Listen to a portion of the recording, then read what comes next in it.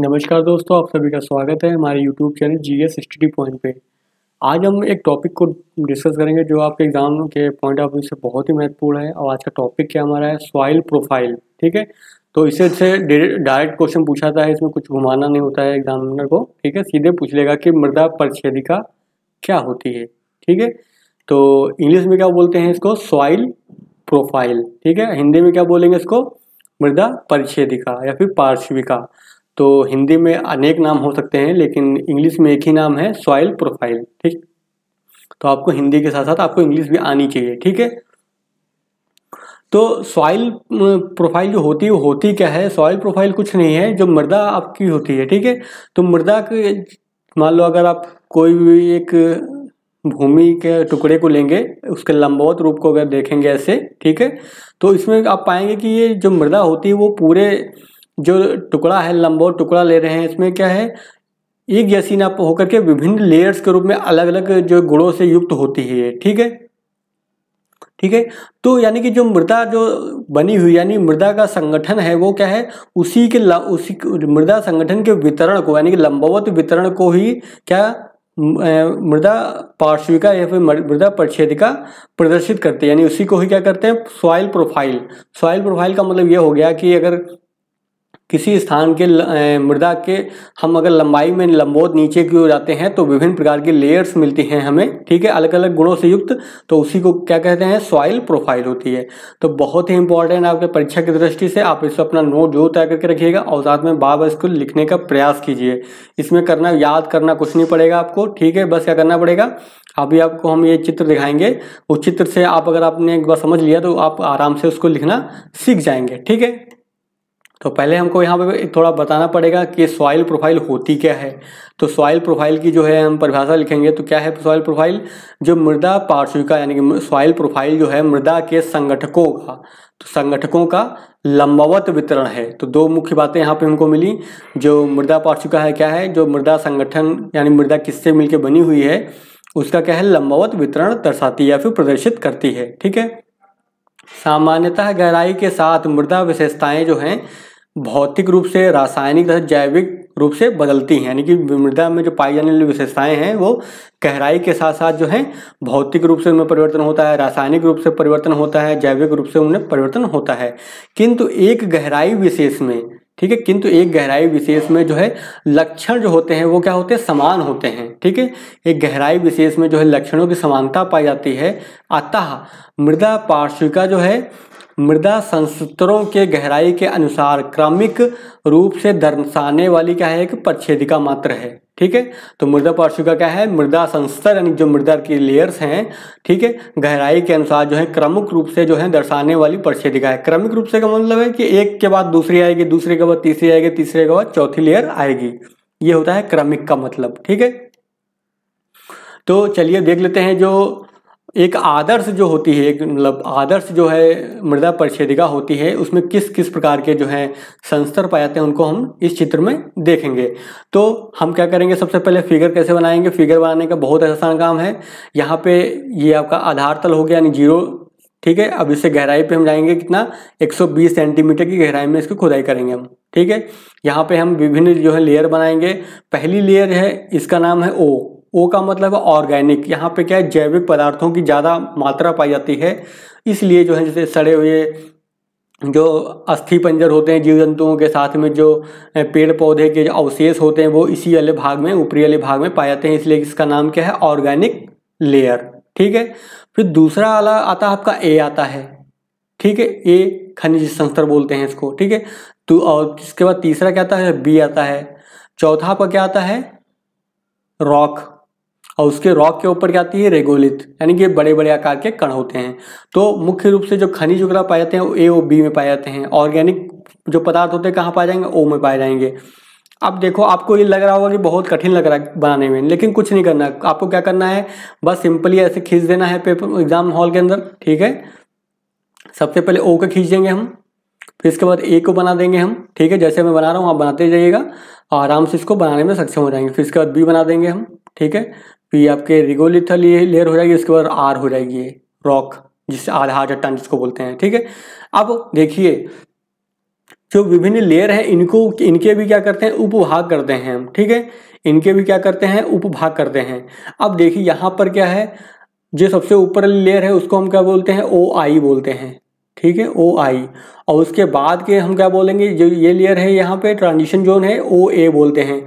जो शब्द पहले आया है, उसका मतलब ये शब्द अगर पहले आया है, इसका मतलब क्या है, इस वाली लेयर में, इस वाले पदार्थ की अधिकता है, और उसके कंपेयर में। ठीक है, इतना समझिए आप? ये हो गया आपका ओ ए हो गया। अगर हम बात करते हैं, देखिए, अगर यहाँ पे ओ लेयर यहाँ पे ख़त्म हो गई, ठीक है, इसके बाद ए स्टार्ट हो गया है, इसका मतलब क्या होगा? ए के पदार्थों की ज़्यादा मात्रा होगी। तो अब इसका नाम बदल के क्या हो जाएगा? ए ओ हो जाएगा। समझ गए?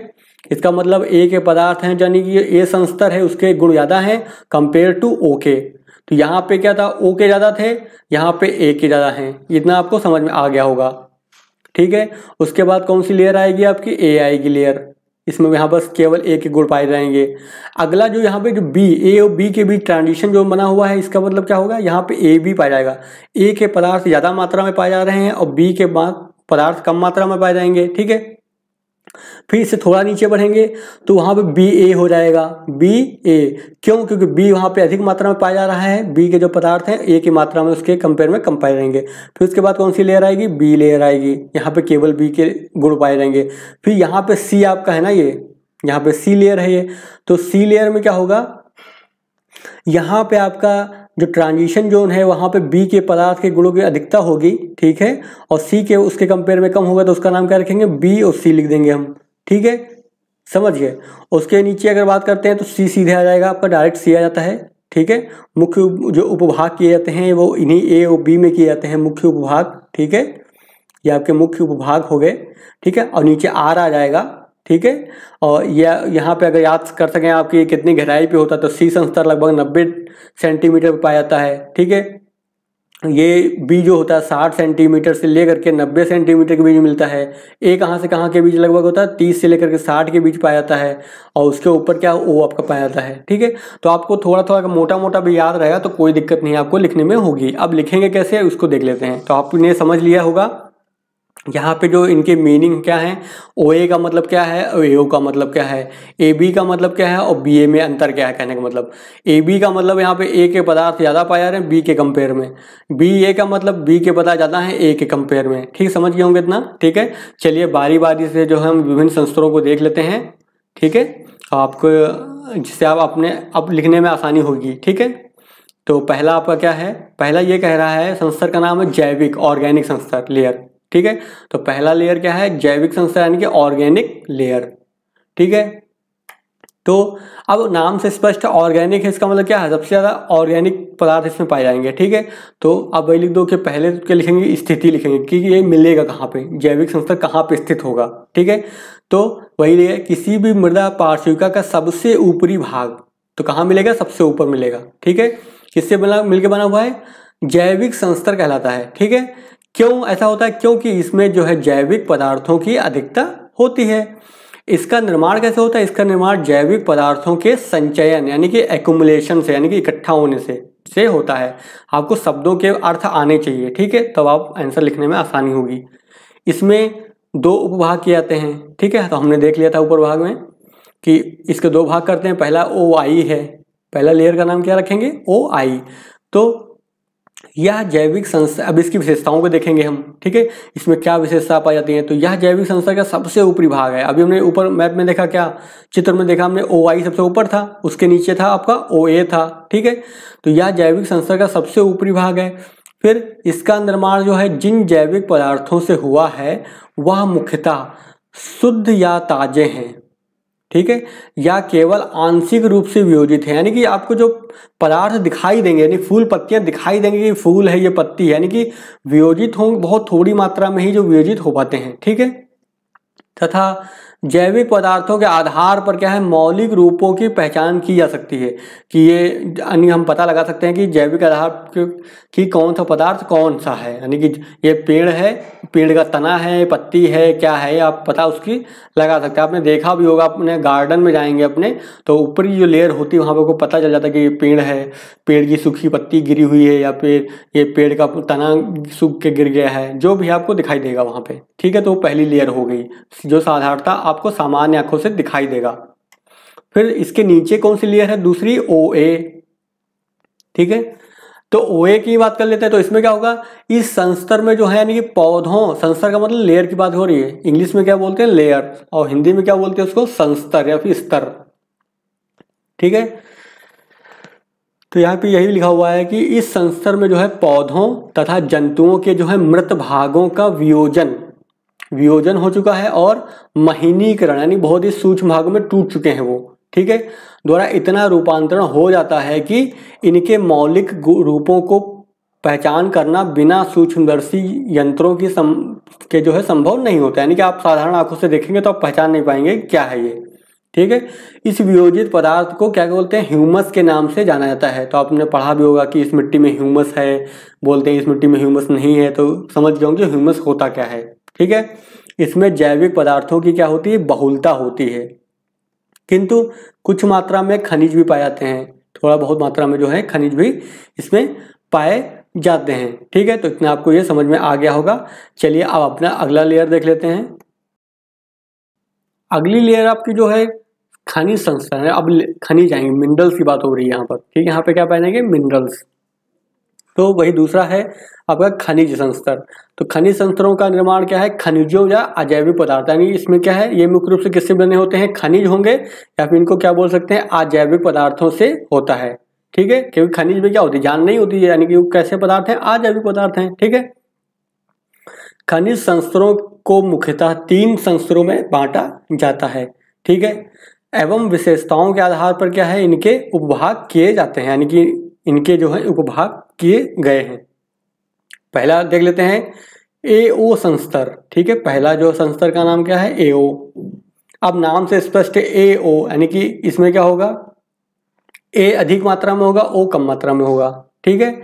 तो वही लिखा हुआ, यह खनिज संस्तर का सबसे ऊपरी भाग होता है, ठीक है? इसमें क्या है? इसमें खनिजों के साथ साथ जैविक पदार्थ भी पाए जाते हैं। जिससे इसका रंग कैसा होता है? काला या फिर गहरा होता है, डार्क डार्क, गहरा होता है। क्यों? क्योंकि जैविक पदार्थ पाए जा रहे हैं। ठीक है? अगला बी है। बी कौन सा है संस्तर ए ठीक है? तो एक में क्या है? यह हल्के रंग का संस्तर होता है, क्योंकि इसमें क्या है? केवल खनिजों की प्रधानता होती है। ठीक जैविक पदार्थ नहीं पाए जाएँगे। इस संस्तर में क्या होते हैं? मुख्य रूप से सिलिकेट, मृतिका, लौह ऑक्साइड होते हैं तथा एल्यूमिनियम, क्या ऑक्साइड इत्यादि खनिजों की का क्या होता है? अपवाहन होता है। अपवाहन का मतलब क्या होता है? एक लेयर से जो है, दूसरे लेयर में चले आना, ठीक है? किसी भी तरीके से नहीं पानी के माध्यम से बह करके चले आना, ठीक है? तो इसी, इसीलिए इसको, इस जोन को क्या बोलते हैं? अपवाहन मंडल बोलते हैं, यानी लीचिंग जोन बोल जोन ऑफ़ एल्यूमिनेशन बोलते हैं हाँ ठीक है? तो क्या हो गया? यहाँ पे जो विभिन्न प्रकार के जो पदार्थ पाए जाते हैं, जैसे सिलिकेट हो गया, मृतिका हो गई, लोह ऑक्साइड हो गया और एल्यूमिनियम के ऑक्साइड्स हो गए, ठीक है? इन खनिजों का क्या हो जाता है? अपवाहन हो जाता है, याद रखिएगा इसको, ठीक है? अतः इसे आप अपवाहन मंडल के नाम से जाना जाता है, ठीक है? इसको क्या नाम जानते हैं? इंग्लिश में क्या बोलते हैं? जोन ऑफ़ एल्यूमिनेशन, ठीक है? जोन ऑफ़ एल्यूमिनेशन का मतलब क्या होता है? इससे जो पदार्थ होते हैं, बह करके नीचे वाले संस्तर में चले जाते हैं, ठीक है? फिर अगला देख लेते हैं, अगला आपका क्या है? ए बी ठीक है, नाम से स्पष्ट है ए के अधिक गुण होंगे बी के कम होंगे गुण। ठीक है? तो यह संस्तर जो है ए टू तथा बी संस्तर के मध्य जो होता है, आवांतर, यानी कि ट्रांजिशनल मंडल होता है। ठीक है? जहाँ से पदार्थ गुजर के निकलते हैं, उसको बोलते हैं आवांतर मंडल। ठीक है? इसमें क्या है? बी तथा ए दोनों के गुण पाए जाते हैं। ठीक है? किंतु ए के गुणों की क्या होती है? प्रधानता होती है। ठीक है? तो आपको इतना ये समझ में आ गया होगा कि किस आधार पे जो है इसका जो है, इसके गुण पाए जाते हैं। ठीक है? उसमें आपको पता चल गया होगा कि किसमें ए के गुण अधिक होंगे किसमें बी के अधिक गुण होंगे। कहाँ, अब हमको ये याद रखना है कि कोई पदार्थ जो है जा रहा है तो कहाँ से कहाँ जा रहा है, ठीक है? उस जोन को हमको याद रखना है। ये जोन ऑफ़ एल्यूमेशन है, ये ट्रांजिशन जोन है, ये आपको अपने आंसर में लिखना होगा। ठीक है? अगला क्या है आपका? बी ए तो नाम से स्पष्ट है बी के गुण अधिक हैं और ए के कंपेयर में। ठीक है? तो यह भी आवांतर मंडल है। ठीक है? ये भी यानी कि ट्रांजिशनल जोन है। इसमें भी क्या है? ए तथा बी दोनों के गुण पाए जाते हैं, किंतु क्या है? बी के गुणों के क्या होती है? प्रधानता होती है। ठीक है? तो आसानी से आप इसको आप लिख सकने में सक्षम हो गए होंगे। ठीक है? चलिए, अब आगे देख लेते हैं। अगला जो आपका है, बी मंडल मिलेगा हमें, ठीक है? अब क्या होगा, यहाँ पर जो ऊपर से पदार्थ आ रहे हैं, जो ए मंडल से, वो यहाँ पे क्या हो जाएँगे? निक्षेपित हो जाएँगे, यानी कि वो इकट्ठा हो जाएँगे। तो वही ये बी मंडल संस्तर है। इस संस्तर में क्या है, खनिजों, खासकर कौन से, जो ऊपर से चले थे, कौन से चले थे? सिलिकेट चला था वहाँ से, मृतिका चली थी, लोह ऑक्साइड चले थे, एल्युमिनियम के ऑक्साइड चले थे, तथा जैविक पदार्थ का सर्वाधिक क्या होता है? जमाव। या फिर विनिक्षेपण पाया जाता है। तो अगर विनिक्षेपण शब्द का यूज़ करेंगे तो आपका आंसर अच्छा लगेगा दिखने में, ठीक है? एग्जामिनर को भी लगेगा कि हाँ आप औरों से अच्छा लिख रहे हैं, ठीक है? अतः इसे विनिक्षेपण मंडल कहते हैं, ठीक है? तो आप इसको समझ गए होंगे कि ए से पदार्थ चले थे और बी में आके इकट्ठा हो गए वहाँ करके, ठीक है? अगला क्या है मंडल आपका? बी और सी तो इसका मतलब क्या है? बी के गुण की प्रधानता है सी इसका मतलब कम है। तो यह भी क्या है? आवांतर मंडल है। ठीक है, यहाँ पर भी यानी कि आगे इकट्ठा हो रहे हैं। इसे बी सी भी कहा जाता है, किंतु बी के गुणों के क्या होती है, प्रधानता होती है। ठीक है, आप यहाँ पे आप ये भी लिख सकते थे, इसमें बी और सी के दोनों के गुण पाए जाते हैं, किंतु बी के गुणों की प्रधानता होती है, ऐसे भी लिख सकते हैं आप हैं, ठीक है। अगला क्या आपका जो है सी संस्था, जो उसके बाद हमने देखा था कौन सी लेयर आती है सी आती है। पहले ए आया, पहले ओ आया, फिर ए आया, फिर बी आया, फिर सी आया, ठीक है। तो ऐसे क्रम आप याद रखिएगा। तो इस संस्तर में क्या होगा? आधार चट्टानों के जो है, बड़े आकार के जो होते, क्या होते हैं? असंगठित टुकड़े पाए जाते हैं। अब इनको बोलते क्या है? इन्हें रिगोलिथ बोलते हैं। तो याद रखिएगा, सी चट्टान में क्या मिलेगा आपको? रिगोलिथ। ठीक है? चौथा आपका क्या है? आर, यानी कि रॉक। तो इसके अंतर्गत क्या होगा? दृढ़ तथा कठोर आधार शैल को दर्शाया जाता है। यानी कि जिन चट्टानों से मिल जिन चट्टानों के विघटन से, यानी वियोजित होकर के, बना है पूरी सॉइल बनी है, उसको बोलते हैं आर संस्था यानी कि इसी चट्टान से जो है, मृदा के निर्माण या उत्पत्ति हुई है, ठीक है? तो इसके अंतर्गत जो है दृढ़ तथा कठोर आधार शैल को दर्शाया जाता है। तो ये रहा आपका जो है आज का टॉपिक ठीक है? तो आज हमने इसको देख लिया। आई होप आपको अच्छे से समझ में आ भी गया होगा। और बहुत ही इंपॉर्टेंट टॉपिक है, ठीक है? आप इस पर अपना नोट ज़रूर तैयार करके रखिएगा, ठीक है? अगर आपको वीडियो हमारा पसंद आया हो तो वीडियो को लाइक ज़रूर करिएगा। साथ में अपने दोस्तों के साथ भी शेयर करिएगा, ठीक है? और अगर आप चैनल पर नए हैं तो चैनल को सब्सक्राइब ज़रूर कर लीजिएगा। और हाँ अगर आप हमारे जियोग्राफी ऑप्शनल के पेड ग्रुप से जुड़ना चाहते हैं तो आप हमें इस पर संपर्क कर सकते हैं। हमारा नंबर है डबल एट ठीक है? डबल एट सिक्स ज़ीरो हो गया। Double five eight five three zero ठीक है? इस पर आपको जो है आप कॉल भी कर सकते करके पूछ सकते जानकारी ले सकते हैं, साथ में आप व्हाट्सअप करके भी जानकारी प्राप्त कर सकते हैं, ठीक है? और पेड ग्रुप में आपको क्या होगा, आपको जोग्राफी ऑप्शनल का पूरा कंप्लीट कोर्स कराया जाएगा, साथ में आपको नोट्स की जो है पीडीएफ भी प्रदान की जाएँगी, ठीक है? पीडीएफ जो आपको दी जाएँगी, और साथ में आपको इसमें टेस्ट सीरीज़ भी कराई जाएगी, ठीक है? तो टेस्ट सीरीज़ का बहुत ही लाभ होता है मेन्स एग्ज़ाम में तो टेस्ट सीरीज़ इसमें कराई जाएँगी और साथ में पर्सनल गाइडेंस भी दिया जाएगा। अगर आपको कोई भी टॉपिक समझ नहीं आ रहा तो उससे संबंधित जो है, आपको पर्सनल गाइडेंस जो है प्रोवाइड कराया जाएगा। ठीक है? तो अगर आप हमारे पेड ग्रुप से जुड़ना चाहते हैं तो आप इस पर संपर्क कर सकते हैं। चलिए, फिर आज का हम फिर यहीं पर वीडियो ख़त्म करते हैं। मिलते हैं फिर नेक्स्ट टॉपिक को नेक्स्ट वीडियो में डिस्कस करेंगे। ठीक है?